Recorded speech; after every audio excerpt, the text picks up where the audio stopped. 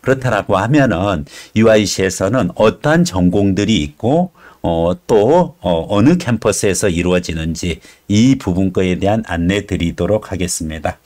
어, 상당히 많은 어, 전공들이 있습니다.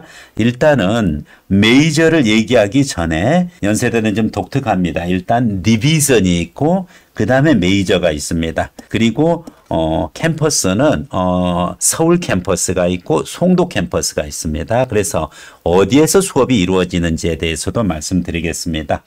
먼저 division이 먼저 있는데 언더우드 division이 있고 어, HASS라는 division이 있고 그리고 마지막으로 어, 또 어, ISE라는 디비전이 있습니다. 그래서 언더우드 UD 그리고 HASS 그리고 ISE입니다.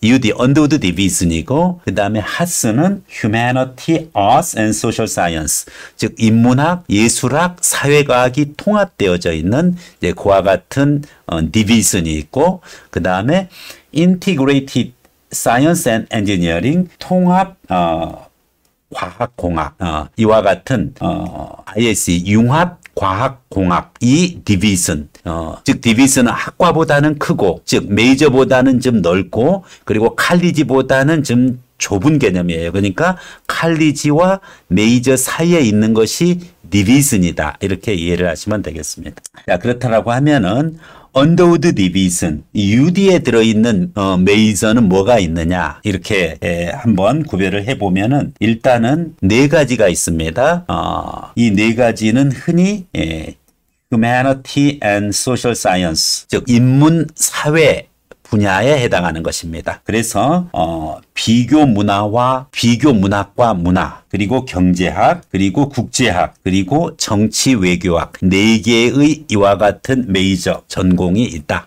그런데 그거 말고 natural science 자연과학에 해당하는 이제 그와 같은 전형이 있는데 에, 일부 이 부분 것은 natural science이면서 엔지니어링이랑도 공학이랑도 연결되어져 있습니다. 바로 그 전공이 예, LSBT입니다. Life Science and Biotechnology. 바로 생명과학과 그리고 생명공학입니다.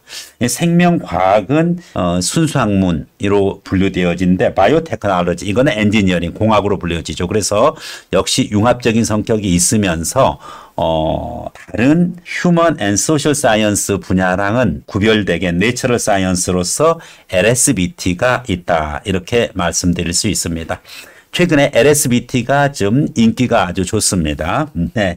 그리고 이제 여기에 캠퍼스 부분 것은 어 1학년 freshman course 1학년은 어 송도 International 캠퍼스 송도 캠퍼스에서 하고 그리고 2, 3, 4학년 세 개 학년은 어 신촌 어 인서울 서울에 있는 신촌 캠퍼스에서 수업이 진행된다. 그래서 언더우드 division은 freshman 1년은 어디에서? 송도에서 진행되고 그리고 나머지 3년 어, 어, sophomore, junior, senior. 어, 이 과정은 어디에서? 서울 캠퍼스 즉 신촌에서 진행이 된다. 이렇게 이해를 하면 되겠습니다.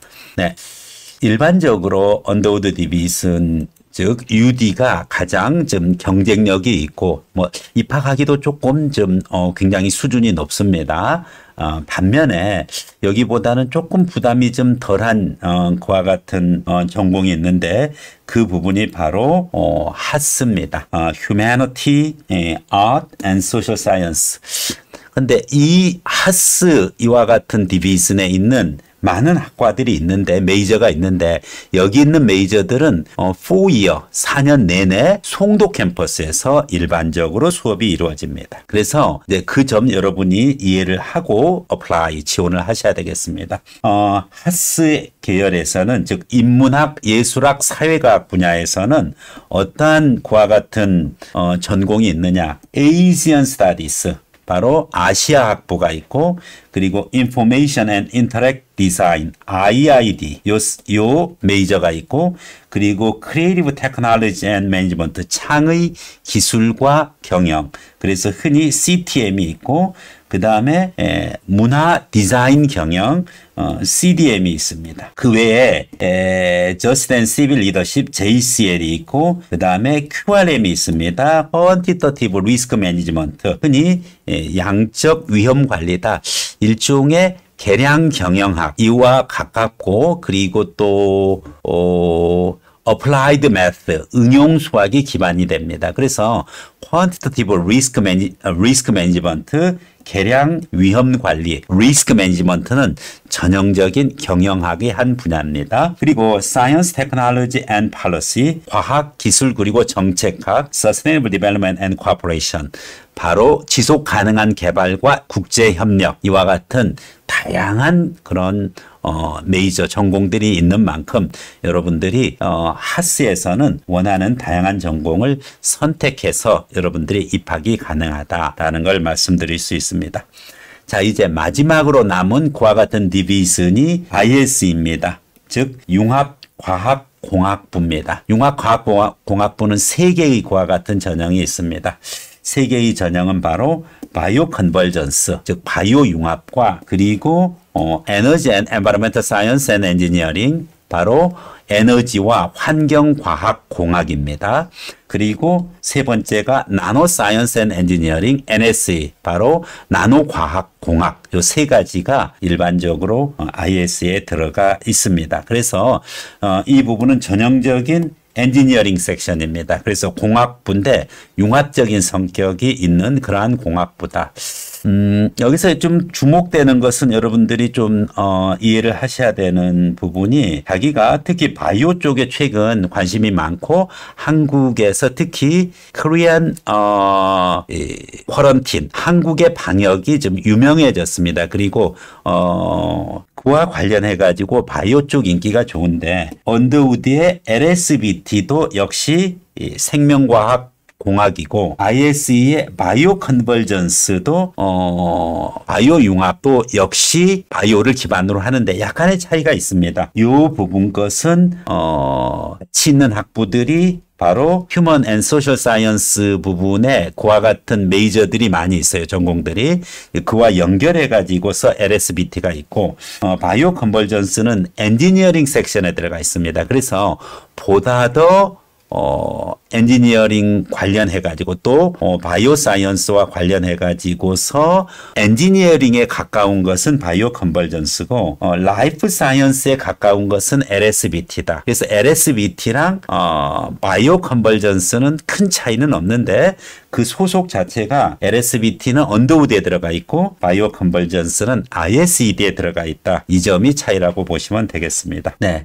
지금까지 여러분들에게 UIC의 UD, HASS, ISE의 각각의 어, 이 메이저 전공들에 대해서 알아봤습니다. 반드시 입학할 때 선택을 해야 됩니다. division을 내가 뭘로 할 것인지 즉 언더우드 division으로 할 것인지 UD로 할 것인지 하스로 할 것인지 그리고 아니면은 ISED로 할 ISE로 할 것인지 반드시 이 디비전을 선택을 해야 돼요. 음, 그래서 어, 여러분들이 그 전공이 여러 개 있는 걸 알고 있으니까 주의 깊게 디비전을 선택해야 됩니다. 나는 언더우드다. 나는 하스다. 나는 ISED다. 이렇게 선택을 해야 되고 그 다음에 UD의 각각의 전공들, 하스의 전공들, ISE의 전공은 언제 결정되느냐 그 부분 것은 1학년 말에 에, 여러분들의 전공을 선택하도록 그렇게 되어 있습니다. 그래서 일단은 입학할 때는 어디를 division까지를 정하고 그리고 major는 언제 정한다? 어, 학기 말에 정한다.